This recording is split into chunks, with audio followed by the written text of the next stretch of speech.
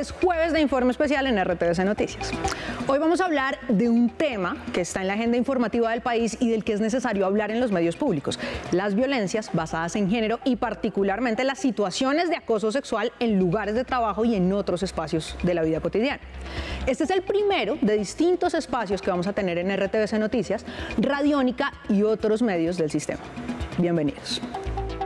En octubre y noviembre del año pasado se conocieron a través de medios digitales las denuncias de unas situaciones de acoso que se habrían presentado en RTBC entre el 2016 y el 2020. ¿De qué se trataba todo esto? Las publicaciones hacían referencia a comportamientos inapropiados de algunos contratistas, a comentarios que, según las denunciantes, eran acoso sexual y a conversaciones en apariencia indebidas del director de Radiónica a través de sus redes sociales personales con oyentes de la emisora. Ojo a esto, a raíz de un caso muy conocido en el periódico El Colombiano, la Corte Constitucional le ordenó al Gobierno Nacional y al Congreso de la República ratificar el convenio C-190 de la Organización Internacional del Trabajo, OIT. Esto era sobre el acoso y la violencia en el trabajo. Ese convenio es del año 2019 y es una amplia hoja de ruta con recomendaciones para evitar que esto pase. Además tiene un apartado dedicado a la protección y a la prevención. De allí que todas las entidades y empresas deban sí o sí tener un protocolo de atención a víctimas de acoso.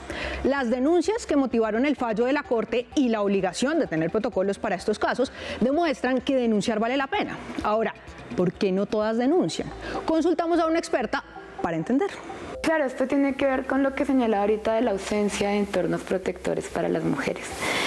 Es muy fácil decirle a una víctima denuncie cuando no sabemos lo que denunciar le va a acarrear a la víctima. Si no estamos en un sistema ni penal ni de justicia perfecto que le da todas las garantías a las víctimas, para nada. Incluso estamos con una barrera que muchas mujeres se enfrentan al momento de hacer una denuncia penal y es que no les reciben las denuncias porque no les creen, porque incluso quien recibe la denuncia hemos atendido casos señala cosas como, pero eso no es nada, si usted no se va a traumar porque le cogieron eso en la calle, ya pues siga con su vida, déjelo ir, porque incluso hay una minimización del acoso. Luego del fallo de la Corte y antes de que se conocieran las denuncias en medios de comunicación, RTBC publicó su protocolo. Sin embargo, es necesario que se hagan mayores esfuerzos para que no se presente ningún caso y para que todas las personas sepan qué hacer y cómo denunciar en caso de que algo así les suceda.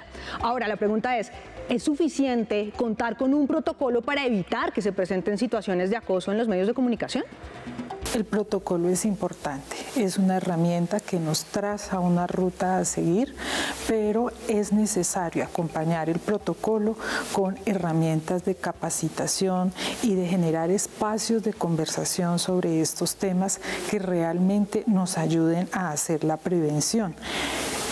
Esta situación que hemos vivido en RTBC nos ha generado muchas experiencias y parte del trabajo que estamos haciendo es fortalecer los cronogramas de capacitación de actividades pedagógicas que se van a realizar, buscar el acompañamiento de expertos para evitar al máximo que estas situaciones se presenten en nuestra entidad. Siguen surgiendo preguntas.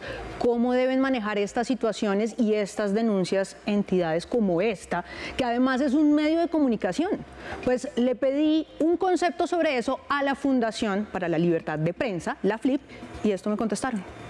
Pues a propósito de la denuncia periodística donde termina destapando o recolectando testimonios sobre una supuesta conducta de acoso en, eh, al interior de RTBC, yo creo que el medio actuó con las herramientas que tenía en ese momento de poder, eh, pues con el protocolo que tenía, tomar una serie de decisiones. De todas maneras, yo creo que en este caso, como ha sucedido en muchos otros medios de comunicación, pues esos son protocolos que no necesariamente están hechos a la medida de la situación y sobre todo que no abordan otros problemas que son muy importantes y es cómo los medios se entienden a sí mismos como un lugar seguro.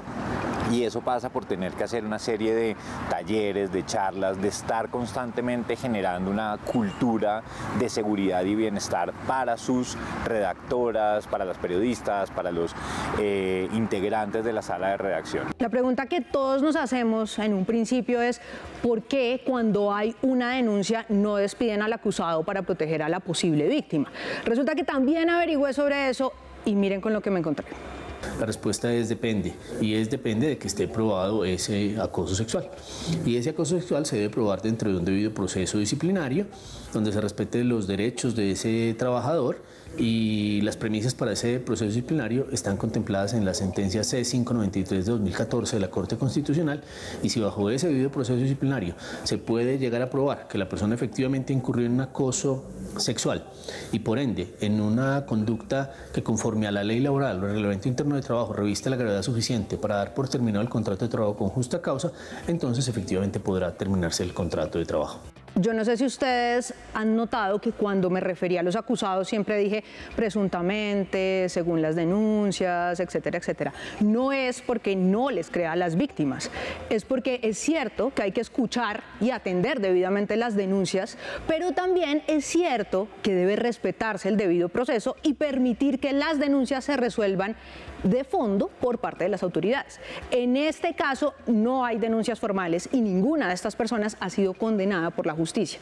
Le pregunté a un experto también sobre eso. Que existe una presunción no quiere decir que exista sentencia o hecho decidido a ese respecto.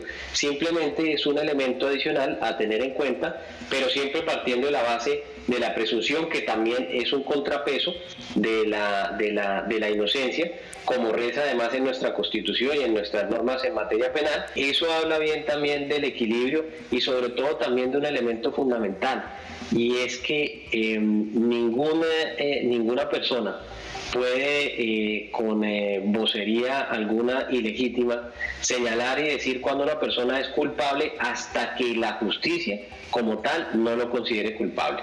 Bueno, y después de todo esto, al final de cuentas, ¿en qué van las denuncias de RTBC? RTBC ha generado reflexión, primero que todo. Esa reflexión nos lleva a fortalecer nuestros protocolos, nos lleva a fortalecer nuestros cronogramas de capacitación y sensibilización. También nos lleva a generar unas rutas eh, de diálogo con nuestros oyentes, con nuestros usuarios. Vamos a tener una serie de especiales de contenido donde estaremos hablando de estos temas que son importantes para la sociedad, porque no solo ocurren en RTBC, ocurren en diferentes espacios. También sobre las diferentes eh, denuncias que se han presentado en los medios de comunicación, hemos em, llevado esta información a las autoridades competentes para que pues ellas puedan hacer el análisis de estas informaciones desde las competencias que ellos tienen. Existe la percepción de que ahora se denuncia más. Buscamos voces entre activistas y expertos para saber por qué el hecho de que acosan las mujeres es noticia en Colombia que en el Congreso de la República las prácticas de acoso sexual sean frecuentes, tema que puso en titulares la declaración de Gustavo Bolívar. Si yo le hago un contrato de dos o tres meses a una persona que quiero eh, tener esclavizada sexualmente, pues más fácil que vuelva a, estar conmigo si que se lo hago por un año que Víctor de Currea declinara su designación como embajador de Emiratos Árabes tras las graves acusaciones de antiguas alumnas universitarias de presunto abuso sexual. Desde Asobancaria queremos invitarles que Hernando José Gómez, presidente de Asobancaria, renunciara ante el supuesto escándalo de acoso o que al menos nueve mujeres el año pasado señalaran a contratistas y funcionarios de RTBC por supuestas conductas indebidas. Que sea noticia las denuncias de una mujer contra el director del DAPRE cuando estaba en el Senado de la República y según le relató al diario El País, intentó besarla a la fuerza durante una entrevista de trabajo, señalamientos que él niega. ¿Qué ha motivado a decenas de mujeres en Colombia a denunciar? Gracias a las luchas, a las demandas que hemos hecho feministas y mujeres alrededor del mundo, hemos logrado posicionar esas situaciones con las que no nos sentimos cómodas, que nos generan miedo, eh, que nos hacen sentir mal, porque aquí también es importante señalar que el acoso tiene un impacto y afecta la vida, los proyectos de vida, incluso la salud mental de las mujeres. Cinco años, el movimiento MeToo contra uno de los productores de cine provocó la reacción mundial. El estadounidense Harvey Weinstein fue acusado y culpado de abusar de varias actrices de Hollywood. Motivadas por este movimiento, millones de mujeres en el mundo cambiaron el silencio por denuncia. Este punto en la historia abrió en Colombia una puerta y descubrió muchos matices más de un universo oscuro. O sea, si hay unos patrones de cómo hay unas acciones o unos actos en el acoso. No es algo inconsciente que yo cometo, que la vi ahí y puse la mano, sino que realmente los acosadores buscan situaciones donde no hay testigos, no hay evidencias, no hay pruebas. Muchas víctimas que hemos atendido nos dicen, no sé si valga la pena denunciar en la fiscalía, porque sé el caso de María, el caso de Antonia, el caso de Pepita, que denunciaron y no pasó nada. Uno de los grandes problemas para las mujeres víctimas de violencia basada en género es que tienen problemas para denunciar o para ser escuchadas. Y hay una situación que las revictimiza, contar muchas veces su historia. Averiguamos por qué ocurre eso. Mujeres víctimas a las que no les creen. Eso ocurre con muchas de las que padecen violencia basada en género. Según han detectado quienes se dedican a estudiar este tema, tener que contar muchas veces los padecimientos es un escenario frecuente en los centros de denuncia judicial. Y esto ya está muy documentado, ¿no? El, fiscal, el policía, el juez incluso que empieza a preguntar, pero usted cómo iba vestida, pero usted por qué estaba en ese lugar, pero usted por qué eh, salió de noche, por qué estaba sola. Decir, eh, esta es una sociedad que reacciona de manera general frente al acoso y la violencia sexual cuestionando a la víctima. El silencio de las víctimas muchas veces se revierte en su contra. Desde la academia se ha detectado que es necesario un análisis distinto con respecto a los tiempos de los hechos y la denuncia. Si una víctima quiere hablar 5 o 10 años después, es porque es su proceso individual. Si no quiso, no pudo hablar antes. Hablan cuando pueden, si hablan cuando se sienten con la fortaleza de enfrentar lo que se viene encima. Las víctimas suelen estar en desventaja por las relaciones de poder de la cotidianidad en la que ocurren los casos. En algún momento la Procuraduría de la Nación llegó a decir que más del 90% de los casos de estas violencias que involucran mujeres se quedan en la impunidad. Revertir los discursos y las formas que defienden sociedades patriarcales, según las expertas, ese es uno de los grandes retos para desandar el camino en el que las mujeres son víctimas. Ya les contaba el antecedente de los protocolos como una primera medida de protección a las mujeres. El Congreso de la República los presentó esta semana. Hablamos con la senadora encargada de liderar la protección de las mujeres y así nos fue. El 9 de junio del año 2021, la Corte Constitucional, a través de la sentencia T140, emitió un fallo donde ordenaba al Gobierno Nacional y al Congreso de la República establecer este tipo de protocolos. Esto después de una situación que eh, se presentó con una periodista en el diario El Colombiano que fue víctima de acoso sexual. ¿Por qué no se había implementado ese protocolo si ya había un, fallo de la Corte Constitucional para que se hiciera desde el año 2021? Pues mira, eh, yo, eh, me, o más bien me, me encuentro ante la misma sorpresa, precisamente porque tengo ese sinsabor es que inmediatamente cuando hay un cambio en el Congreso de la República, es decir, hay una composición distinta entre las fuerzas democráticas del Congreso de la República, cuando no solamente yo soy presidenta de la Comisión Legal de Equidad para la Mujer, sino que tenemos dos presidentes que nos pueden, eh, que pueden poner su voluntad política para sacar adelante un protocolo de este tipo, se hace desde septiembre, inmediatamente después. Eh, porque tristemente, creo yo, no existía la voluntad política, no se consideró importante, eh, pero ya lo venía yo diciendo desde el año pasado, hicimos un encuentro internacional de mujeres progresistas en el país y le hice la solicitud junto con otras mujeres del Congreso de la República al presidente Gustavo Petro, a la vicepresidenta Francia Márquez, de hacer una declaratoria de emergencia de género por el aumento dramático de feminicidios. Es decir, esa declaratoria de emergencia de género de la que acaba de hablar, eh, ¿en qué momento podría aplicarse o, cómo, en qué va?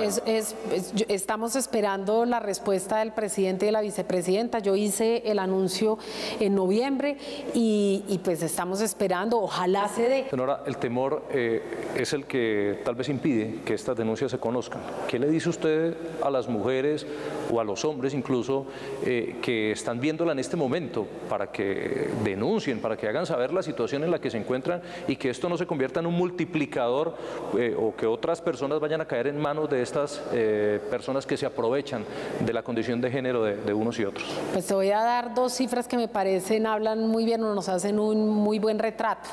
En primer lugar, solo se estima, según eh, la OIT, que el 3% de las mujeres que son víctimas de violencia o de acoso sexual o de abuso sexual en el entorno laboral denuncian. Así que a las personas que nos estén viendo, en primer lugar, hay que denunciar hay que denunciar, hay que tener la fuerza. Estamos voces políticas desde las organizaciones sociales y desde el Estado mismo, hay voces con capacidad y con voluntad de acompañar y de visibilizar la violencia que ustedes hayan y que las mujeres o que las personas que hayan sido víctimas de, violencias basadas en género, eh, digamos, puedan puedan acompañar y por lo tanto puedan ustedes sentir que hay un entorno seguro que les acompaña en ese proceso. Para terminar, cerramos con un mensaje claro. Nos solidarizamos con las mujeres que sufren y han sufrido situaciones de violencia basada en género y de acoso o abuso sexual.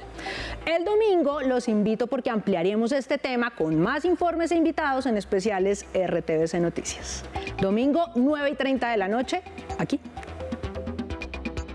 y precisamente sobre este tema tratado en nuestro informe especial, el presidente Gustavo Petro ordenó una investigación interna ante las denuncias realizadas por el ex senador del Pacto Histórico, Gustavo Bolívar, sobre el escándalo de violencia sexual en el Congreso de la República.